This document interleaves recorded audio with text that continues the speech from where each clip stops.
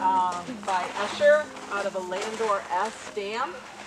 Um, Escher is a Escudo 2, right? A Escudo 2 out of a jumper breeding program approved thoroughbred mare.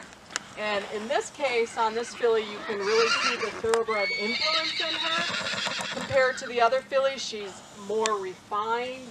She's lighter in bone on her legs. She's very long-legged.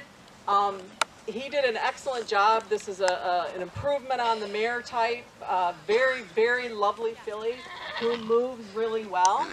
Um, there is a, she, when she goes, she holds her head a little bit higher and her tail up, which tightens her back.